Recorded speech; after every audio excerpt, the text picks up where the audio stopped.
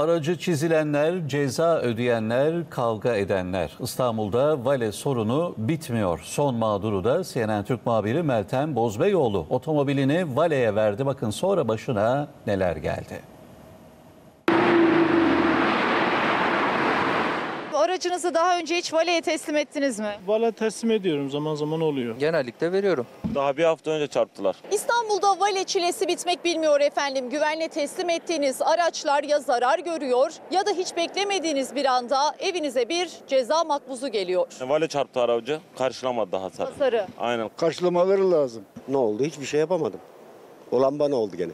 Kez mağduriyeti bizzat ben yaşadım. 28 Kasım günü aracımla birlikte Rumeli Hisarı'na geldim ve aracımı da valeye verdim. Ancak her şeyin iyi gittiğini sanarken daha sonra resmen şoku yaşadım. Bırakıyorum, anahtarı bırakıyorsun, geliyorsun arabadan eşyalar gidiyor. Tam iki hafta sonra evime bir trafik cezası makbuzu geldi. Makbuzda valeler 28 Kasım günü aracımı park yapılmaz levhasının olduğu noktaya park etmişler. Ceza bedeli de 144 lira. Bunu vale hizmeti veren şirketten talep edebiliyorsunuz. Ne oldu? Hiçbir şey yapamadım.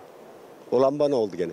İstanbul'da vale mağduru olan elbette tek kişi ben değilim. Peki böyle bir problemle karşılaşıldığı an ne yapmak gerekiyor? Şimdi bu yönetmeliğe göre e, vale hizmeti veren şirketin size bir fiş verme zorunluluğu var. Siz bu fişi gösterdiğiniz zaman e, orada olduğunuzu ve aracınızı teslim ettiğinizi ispatlayabiliyorsunuz. Muhatap bile olmuyorlar. Aracınızı çizdiler. Tabii çizdiler, etti, ispatlayamadım. Onları ispatlama biz yapmadık, siz yaptınız. Verilen ceza kanuna uygun olduğu için yasak park nedeniyle trafik cezasına itiraz edilemiyor. Siz bu trafik cezasına itiraz edemediğiniz için size e, zarara sokan vale hizmetinden bu zararınızı talep edebiliyorsunuz. Bundan sonra ben de valeye vermiyorum artık. Verdiğiniz yerlere bağlı. Kurumsal yerlerse sorun olacağını düşünmüyorum.